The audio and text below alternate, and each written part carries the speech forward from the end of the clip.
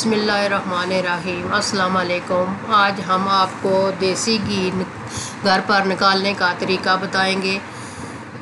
सबसे पहले हमने ये देखें, मलाई जमा की हुई है दूध से उतार कर।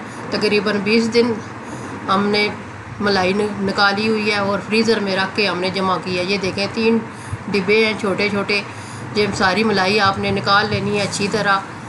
ये देखें, सारी मलाई आप निकाल लें देशके में।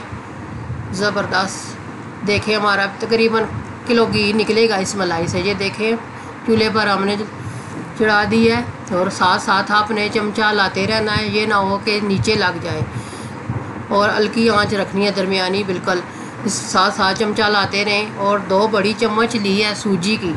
वो हमने इसमें डाल दिया और चम्मच से अच्छी तरह मिक्स करने हैं। कुछ लोग जो होते हैं, बाजरे के दाने भी डालते हैं पीस कर लिहाजा मैं सूजी डाल रही हूँ। इससे भी बहुत ज़बरदस्त हमारा घी निकलेगा। साथ साथ आप चमचा लाते रहें, ये देखें बिल्कुल दूध की तरह मलाई सारी हो गई है।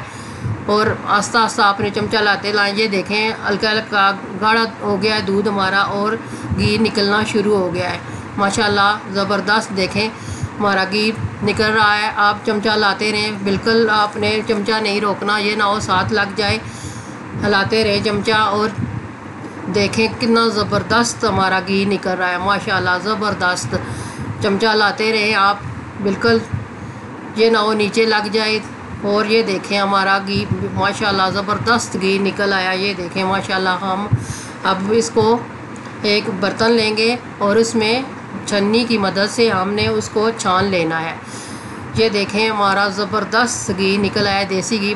सारे किचन में माशाल्लाह खुशबू ही खुशबू है। ये देखें, माशाल्लाह ज़बरदस्त ये देखें, हम छान रहे हैं घी। ये देखें, तकरीबन हमारा किलो घी होगा, निकला होगा। ज़बरदस्त। दवा में याद रखिएगा, मिलते हैं नेक्स्ट वीडियो में।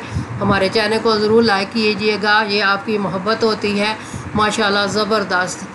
अल्लाह हाफिज़।